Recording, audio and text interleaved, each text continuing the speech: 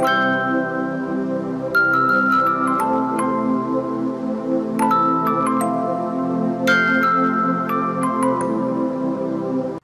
mừng quý vị và các bạn đã đến với bản tin dự báo thời tiết ngày hôm nay và ngày mai của chúng tôi trên kênh PTV Tiên.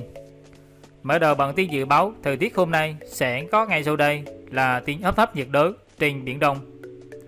Thưa quý vị và các bạn, hồi 16 giờ ngày 25 tháng 7, vị trí tâm áp thấp nhiệt đới ở khoảng 18,1 độ vĩ Bắc, 108,2 độ kinh Đông, trên vùng biển Nam Vịnh Bắc Bộ, cách bờ biển Hà Tĩnh khoảng 240 km về phía đông. Sức gió mạnh nhất vùng gần tâm áp thấp nhiệt đới mạnh cấp 6, tức là từ 40 đến 50 km/h giật cấp 8. Bán kính gió mạnh cấp 6, giật cấp 8, khoảng 40 km tính từ tâm áp thấp nhiệt đới. Dự báo trong 12 giờ tới, áp thấp nhiệt đới di chuyển theo hướng đông, mỗi giờ đi được khoảng 10 km. Đến 1 giờ ngày 26 tháng 7, vị trí tâm áp thấp nhiệt đới ở khoảng 18,2 độ vĩ Bắc, 109,1 độ kinh Đông, ngay phía nam đảo Hải Nam của Trung Quốc. Sức gió mạnh nhất vùng gần tâm áp thấp nhiệt đới mạnh cấp 6, tức là từ 40 đến 60 km/h giật cấp 8. Vùng nguy hiểm trên biển trong 12 giờ tới, gió mạnh cấp 6, giật cấp 8, từ vị tuyến 17,5 đến 19 độ vĩ Bắc, từ kinh tuyến 107 đến 110 độ kinh đông. Toàn bộ tàu thuyền hoạt động trong vùng nguy hiểm đều có nguy cơ cao chịu tác động của gió mạnh, sóng lớn và lốc xoáy. Cảnh báo cấp độ rủi ro thiên tai trên Nam Vịnh Bắc Bộ là cấp 3. Trong 12 đến 24 giờ tiếp theo, áp thấp nhiệt đới di chuyển theo hướng đông đông bắc, mỗi giờ đi được 10 đến 15 km và suy yếu thành một vùng áp thấp. Thưa quý vị và các bạn, Hiện nay, trên Biển Đông tiếp tục xuất hiện thêm một vùng áp thấp ở vùng biển phía đông nam quần đảo Hoàng Sa với cường độ mạnh cấp 6, giật cấp 8 và di chuyển chậm theo hướng Bắc Tây Bắc với tốc độ khoảng 10 đến 15 km/h. Vị trí tâm áp thấp nhiệt đới ở khoảng 18,1 độ vĩ Bắc, 109 độ kinh Đông, cách quần đảo Hoàng Sa khoảng 240 km về phía đông. Vị trí và hướng di chuyển tiếp theo Chúng tôi sẽ liên tục cập nhật trong những bản tin sắp tới. Tuy nhiên, đây chỉ là dự báo sớm. Tình hình trong thực tế còn nhiều diễn biến phức tạp, khó lường. Cảnh báo gió mạnh và sóng lớn trên biển. Ở vùng biển phía nam Vịnh Bắc Bộ có gió mạnh cấp 6, giật cấp 8, sóng biển cao từ 1,5 đến 2,5 biển động.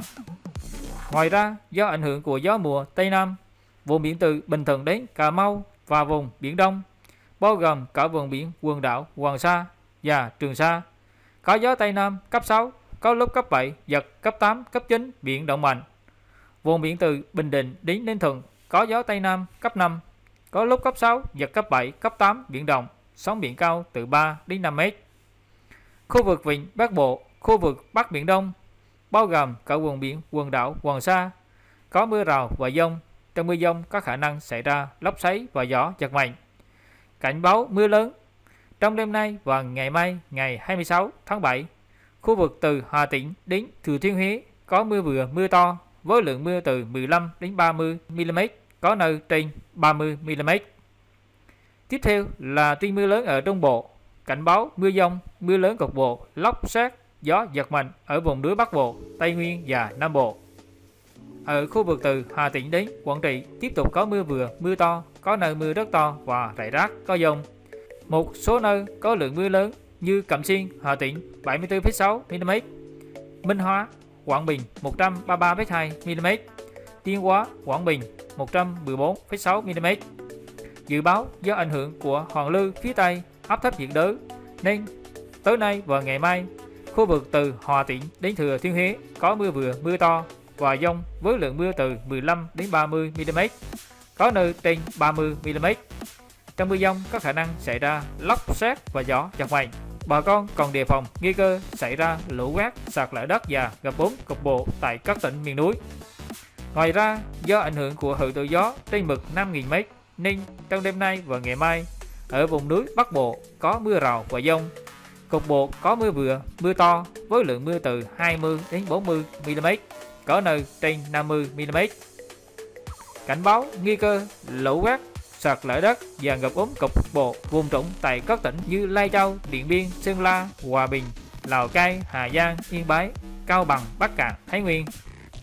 Còn ở khu vực Tây Nguyên và Nam Bộ, do ảnh hưởng của gió mùa Tây Nam có cường độ từ trung bình đến mạnh, nên đêm nay và ngày mai có mưa rào và dông. Cục bộ có mưa vừa, mưa to với lượng mưa từ 20 đến 40 mm, có nơi trên 50 mm. Trong mưa dông có khả năng xảy ra lốc xét và gió giật mạnh. Và tiếp theo, ngay sau đây sẽ là phần dự báo thời tiết cho các vùng miền trên cả nước. Mời quý vị và các bạn cùng theo dõi. Khu vực Hà Nội, nhiều mây, đêm nay và chiều mai có mưa rào và dông rải rác. Ngày có mưa rào và dông vài nơi, trong mưa dông có khả năng xảy ra lốc xét và gió giật mạnh.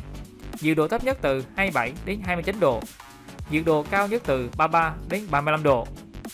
Sang đến thời tiết phía Tây Bắc Bộ, nhiều mây, có mưa rào và dông rải rác, cục bộ có mưa vừa, mưa to, gió nhẹ. Trong mưa dông có khả năng xảy ra lốc xét và gió giật mạnh. Nhiệt độ thấp nhất từ 23 đến 26 độ, riêng Lai Châu, Điện Biên từ 22 đến 24 độ. Nhiệt độ cao nhất từ 32 đến 35 độ, có nơi trên 35 độ. Riêng Lai Châu, Điện Biên từ 36 đến 39 độ. Sang đến thời tiết phía đông Bắc Bộ. Đêm nhiều mây, có mưa rào và dông rải rác.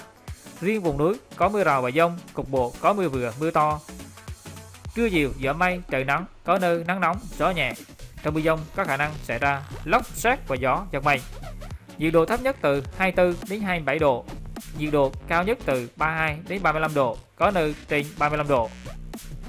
Xuống đến thời tiết các tỉnh từ Thanh Hóa đến Thừa Thiên Huế.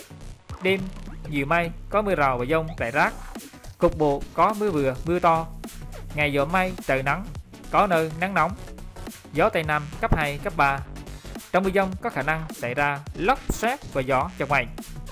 Nhiệt độ thấp nhất từ 25 đến 28 độ, nhiệt độ cao nhất từ 32 đến 35 độ, có nơi trên 35 độ. Sang đến thời tiết các tỉnh từ Đà Nẵng đến Bình Thuận, có mây, chiều tối và đêm có mưa rào và dông vài nơi, ngày nắng. Phía Bắc có nơi nắng nóng, gió Tây Nam cấp 2, cấp 3. Trong mưa dông có khả năng xảy ra lốc xét và gió giật mạnh. Nhiệt độ thấp nhất từ 26 đến 29 độ, nhiệt độ cao nhất từ 33 đến 36 độ, có nơi trên 37 độ. Sang đến thời tiết Tây Nguyên, nhiều mây, có mưa rào và dông vài nơi. Riêng chiều tối và tối có mưa rào và dông rải rác. Gió Tây Nam cấp 3. Trong mưa dông có khả năng xảy ra lốc xét và gió giật mạnh. Nhiệt độ thấp nhất từ 20 đến 23 độ. Nhiệt độ cao nhất từ 27 đến 30 độ, có nơi trên 31 độ. Xuống đến thời tiết Nam Bộ, nhiều mây, có mưa rào và dông vài nơi.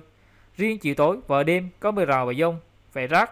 Cục bộ có mưa vừa, mưa to, gió Tây Nam cấp 3. Trong mưa dông có khả năng xảy ra lốc xét và gió giật mạnh. Nhiệt độ thấp nhất từ 23 đến 26 độ. Nhiệt độ cao nhất từ 31 đến 34 độ. Bản tin dự báo thời tiết ngày hôm nay đến đây đã hết. Cảm ơn quý vị và các bạn đã dành thời gian theo dõi.